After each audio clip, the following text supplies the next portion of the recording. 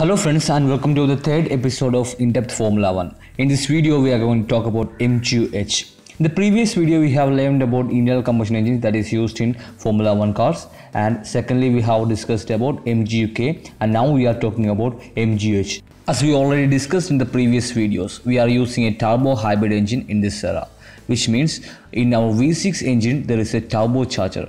We all know how a turbo works. If you don't know I will tell. Turbocharger is a forced induction system and it have two components, a compressor that is connected to the intake side of the engine and a turbine which is connected to the exhaust plenum. Compared to supercharger which creates the energy for rotating the compressor from the engine itself but in turbocharger the energy will be created by the turbine by using the energy of the exhaust gases the enthalpy and the kinetic energy of the exhaust gases will be converted into mechanical energy and fed to the compressor through a shaft. And by rotating the compressor what happens is it will compress the air that is injected into the engine and it will increase the density of the air and then it will be passed through an intercooler. So uh, the temperature of the uh, fresh air will be cooled down for reducing the knocking inside a gasoline engine if you are preferring a gasoline engine which is similar to the Formula 1 car engines.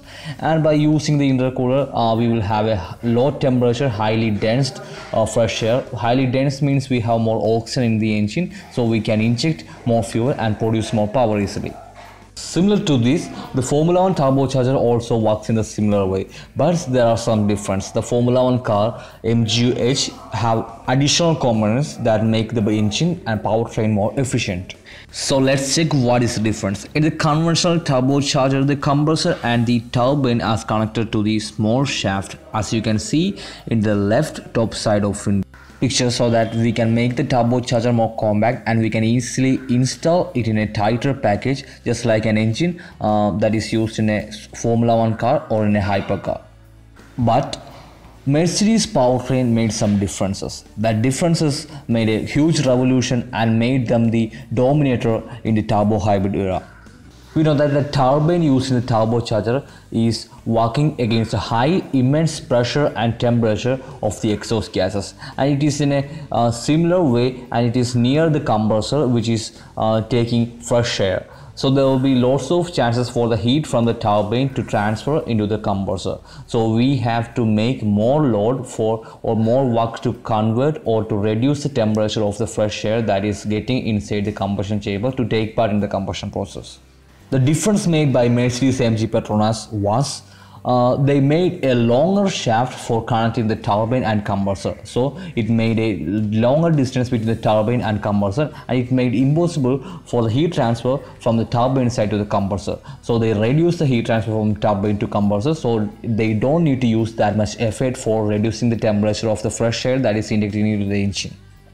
and we know that there are lots of disadvantages for a normal turbocharger and the disadvantages is one is the turbo lag. And for getting rid of this turbo lag we can use smaller turbocharger but smaller turbochargers have less weight and less inertia effects and they can uh, give the boost pressure at a very low rpm also. But uh, the main disadvantage of the smaller turbocharger is at high rpm they will overboost. So for getting rid of these disadvantages for reducing turbo lag, we can use a VGT and for reducing overboost at higher RPM, we can use a wastegate system. But using a wastegate, we will be uh, just just wasting the exhaust energy. We know that our internal combustion engines are not that efficient so uh, we will be lost heat through the exhaust gas as well. So using a turbocharger is another chance to recover the exhaust heat to produce some work and to increase the thermal efficiency of the overall internal combustion engine package so uh, if we are using a wastegate we will be wasting the high heat energy at very high engine rpms and the formula 1 car turbocharger is able to spool up up to 1 lakh revolution per minute. It's an F1 engine so it must not waste energy. That's why we are using a motor generator unit with heat recovery system.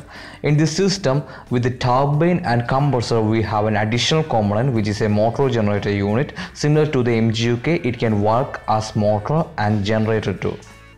At the beginning speed or by starting acceleration, we can use the energy from the battery pack to drive the motor for reducing the turbo lag and to provide higher acceleration for the vehicle and at high engine rpms where the exhaust energy is so much high and we are not wasting the energy to a waste gate but we are converting the mechanical energy in the inside the turbine and it will be fed to the generator.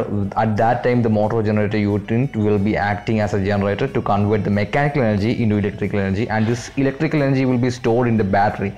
And this electrical energy can be used for propelling the vehicle to forward by using the mguk and it can also be used for reducing turbo lag at engine starting. This is how a Formula One turbocharger works. In the uh, all turbocharger unit, the MGU will be placed in between the turbine and compressor unit as you can see in the picture. By combining the 1.6 liter V6 engine with the MGU-K and MGU-H, the most efficient engine on the planet is born which is the F1 car engine.